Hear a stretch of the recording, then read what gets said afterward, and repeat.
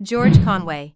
Trump post on Harris crowd size delusional conservative attorney George Conway on Monday lambasted former President Trump as a deeply psychologically disturbed individual.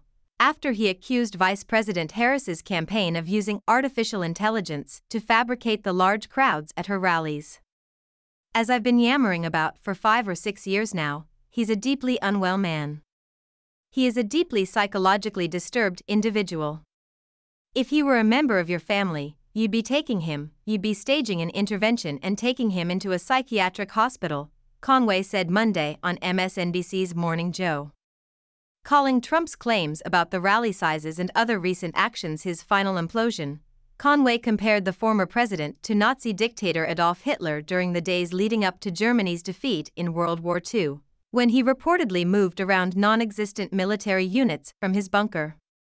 He is, as I've been saying, a narcissistic sociopath, a pathological narcissist and a sociopath as defined by the American Psychiatric Association, Conway said.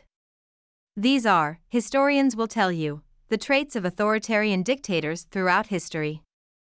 And what we're seeing now is, as you put it, an implosion.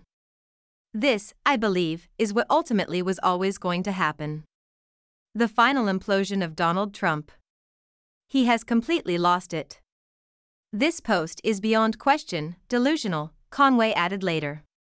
But it was also inevitable because what's happening here is he realizes, he realizes he's under more pressure than ever, because he's not just running for the presidency, he's running for his freedom.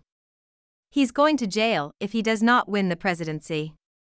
Conway, a staunch citric of Trump, was reacting to the former president's Sunday Truth Social post in which he called Harris a cheater. Has anyone noticed that Kamala cheated at the airport? There was nobody at the plane, and she AI. D it and showed a massive crowd of so called followers, but they didn't exist. Trump wrote Sunday.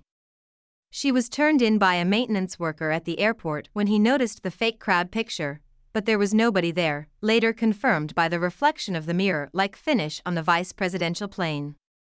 She's a cheater. She had nobody waiting, and the crowd looked like 10,000 people. Same thing is happening with her fake crowds at her speeches, he continued. Trump then urged that Harris be disqualified from running altogether, as he claimed the photo of the crowd was fake and thus election interference. Trump did not provide any evidence of the alleged fabrication, posting a screenshot from a user on the social platform X who claimed the Harris campaign was busted for a fake photo. In a community note on X, readers noted that the rally, which was live streamed, was attended by thousands, as seen in user videos, pictures, and the stream itself. The Hill reached out to the Trump campaign for further comment. Harris's campaign fired back at Trump on social media Sunday. 1. This is an actual photo of a 15,000 person crowd for Harris Walls in Michigan, the Kamala HQ account wrote on X, responding to a screenshot of Trump's post attacking Harris's fake crowd. 2. Trump has still not campaigned in a swing state in over a week. Low energy? Since President Biden dropped out of the race and endorsed Harris in late July, she has energized the party's base and seen a surge in the polls against Trump. Her rallies drew thousands of attendees last week, which the campaign touted against Trump, who has long looked to crowd size as a measure of support.